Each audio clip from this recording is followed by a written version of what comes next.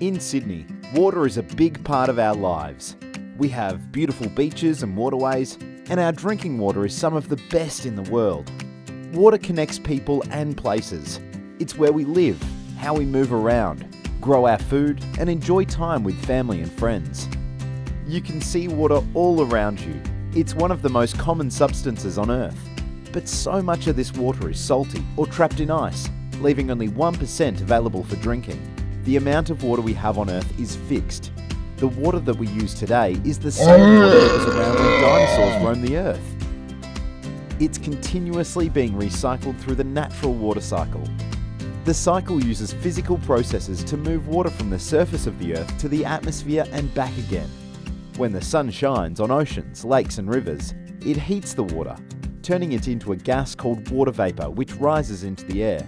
This is called evaporation. The sun doesn't just heat water in oceans, lakes, and rivers. When it warms people, plants, and animals, they release water vapour too.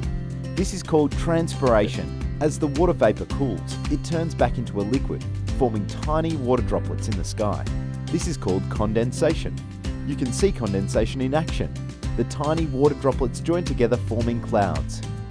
In Sydney, most clouds form over our oceans and are blown towards the mountains, rising higher into the air and cooling even more.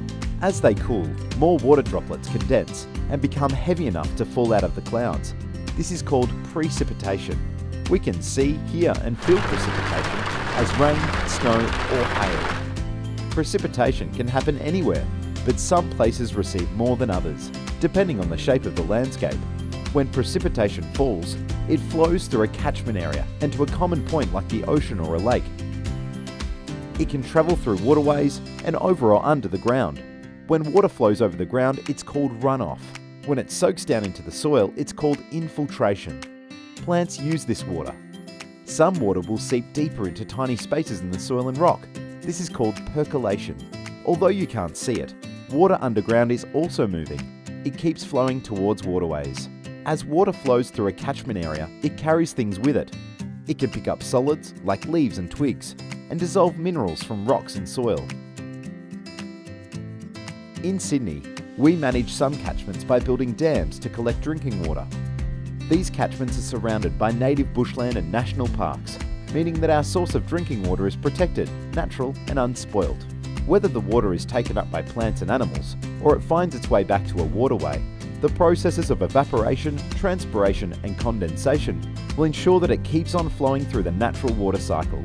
As our climate changes and our population grows, it is more important than ever to understand how the natural water cycle works so that we can manage it sustainably for future generations.